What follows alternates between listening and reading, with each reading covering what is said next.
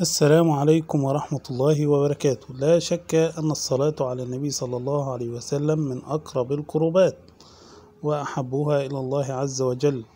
ولكن علينا باتباع هدي النبي صلى الله عليه وسلم وعدم الابتداع. اتبعوا ولا تبتدعوا أسابكم الله. فلم يرد تحديد وقت محدد للصلاة على النبي صلى الله عليه وسلم. وحينما قال النبي صلى الله عليه وسلم أكثروا من الصلاة والسلام على على رسول الله صلى الله عليه وسلم في يوم الجمعة وليلتها ولم يحدد وقتا محدد. وقد أتم الله عز وجل الدين برسوله صلى الله عليه وسلم ولم يترك النبي صلى الله عليه وسلم شيء فيه خير لهذه الأمة إلا ودلنا عليه.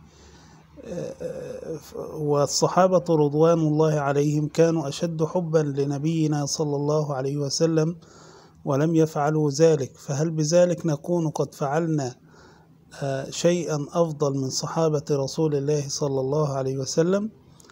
لم يحدد يحدد صلى الله عليه وسلم وقت محدد للصلاة أو عدد معين أو بعد صلاة الجمعة. فنقول هداكم الله عز وجل.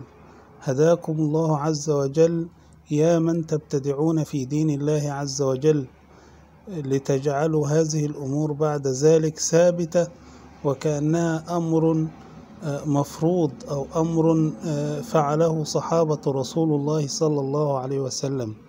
اللهم صل وسلم وبارك على سيدنا محمد. اتبعوا ولا تبتدعوا. من عمل عملا ليس عليه أمرنا فهو راده. اللهم رد إليهم عملهم هذا. اللهم رد عليهم عملهم هذا. فالخير كل الخير في اتباع السلف.